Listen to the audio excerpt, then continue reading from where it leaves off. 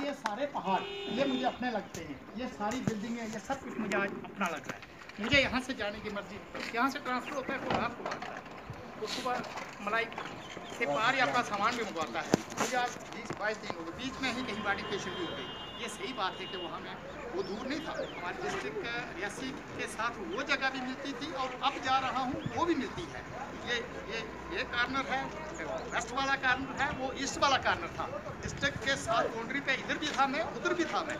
लेकिन अब जो जा रहा हूँ, वो थोड़ा प्लान है। रोड शोड की कनेक्टिविटी है वहाँ।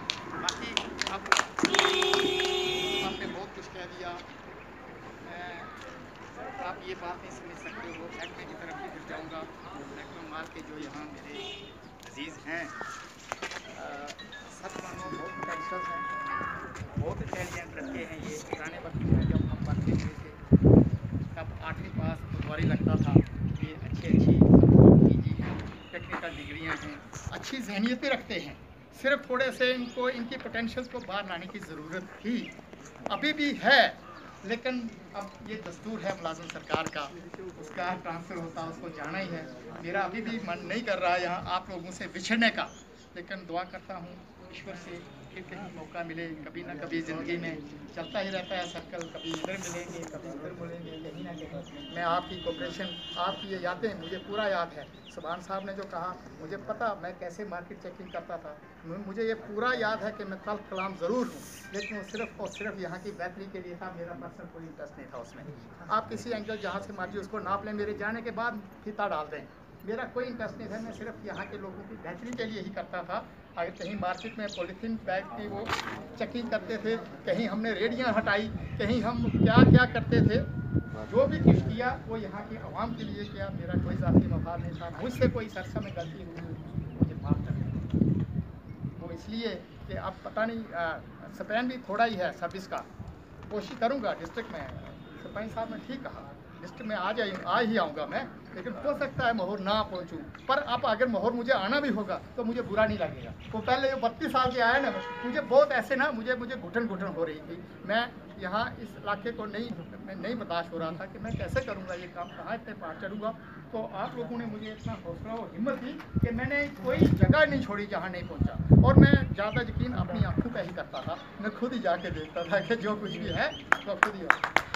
आखिर में मैं फिर एक बार दुआ करता हूँ कि आप सब ठीक खुले पड़ें आप पूरा कोऑपरेट करें एस डी एम साहब नहाई तजर्बाकार ऑफिसर हैं मुझे बहुत अफसोस है इस बात का कि मुझे तो दस दिन भी नहीं मिले सिर्फ़ ये कल परसों पहुँचे और आज मैं जा रहा हूँ लेकिन फिर भी कोई बात नहीं एस डी एम साहब आपकी नज़र ये बात मैं कहूँगा कि आप मुझे फ़ोन पर भी कोई बात पूछ सकते हैं मैं ज़रूर एक दो तो महीना आपको फीडबैक दे सकता हूँ मुझे अब जबानी भी सब कुछ याद हो गया है आपको इलेक्शन का ज़्यादा है। मुझे सब पोलिंग स्टेशन याद है। मुझे पोलिंग स्टेशन पे वोटरों की याद है। मुझे हाइपर सेंसिटिव सेंसिटिव बनरेबल जैसे भी हैं, किसका छत नहीं है, किसका टॉयलेट नहीं है, किसका ये पानी का कनेक्शन नहीं है, किसको रैंप नहीं है, किसको क्या नहीं है, मैं सब जानता हूँ। कभी भी मेरी ज़रूरत पड़े।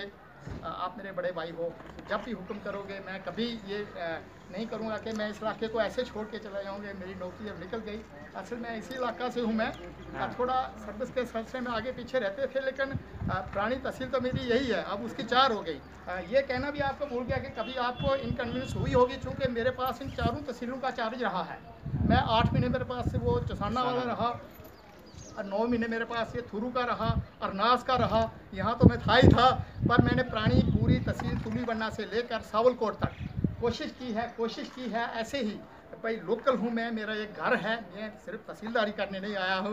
मैं आपकी खिदमत के लिए सरकार मुझे तनख्वाह भी अच्छी खासी देती है, बड़े छोटे से रैंक से लेकर मुझे आज तहसीलदार बनाया है, ये मेरी ज़िम्मेदारी बनती थी। ये ये मैंने आप पर कोई आसान नहीं किया है, मुझे माफ़ करना, मुझसे कोई गलती नहीं और आखिर मैंने यही बात कहूँगा जय हिंद, जय भारत।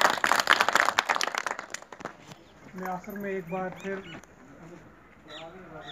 आप सारे हमारी इस महफल को रौनक में बदल देते हैं। इसमें कोई शक नहीं कि आप अपने अपने मकाम के फूल हैं। लेकिन जब ये फूल किसी गुलदस्ते की तरह बाँध के किसी मकाम पर खड़े हो जाते हैं तो शायद उनकी महक से सारे महफल जगमगा जाती है। तो हमने अब खाने का प्रोग्राम रखा है। मैं पूरी उम्मीद रखता हूँ कि आप